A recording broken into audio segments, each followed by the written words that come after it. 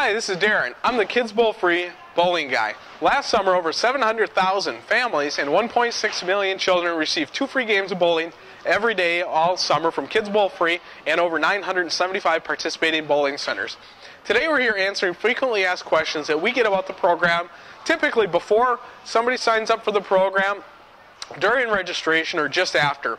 This question probably falls into all three of those categories. And the question is, when will the Kids Bowl free coupons be in my account? It's very simple. Uh, all you need to do is check the starting dates and ending dates of the participating center in your community when you're registering. It'll say May 1st to August 30th. That's just an example because every bowling center does not have those starting dates and ending dates. So if you sign up on April 15th for the program, you will not have any coupons in your account until the Sunday before May 1st. On the Sunday before May 1st, we'll send you an email that says, hey, your uh, coupons are now ready in your account. You'll then have a link that you can log into kidsbowlfree.com, use your password, hit print. You'll just log in and hit print. You print your coupons off, then you redeem those at the bowling center.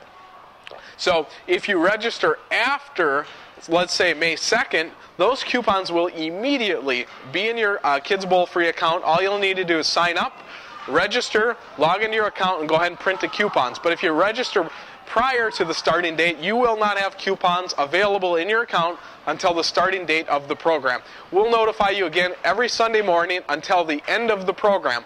So uh, let's just use May 1st as an example.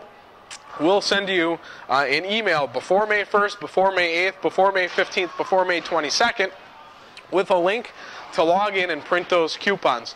Now, you don't need an email from us to log in and print the coupons.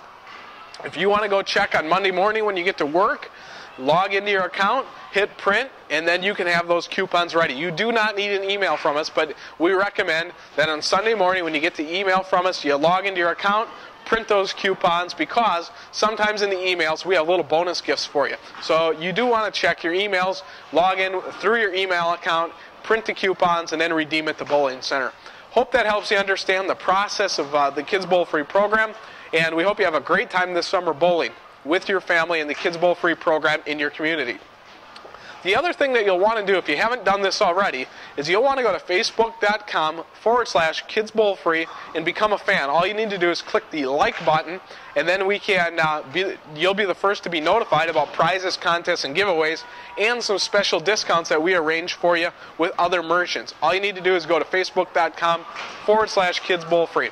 We hope you have a great summer bowling with your family and your participating bowling center. Have a great day.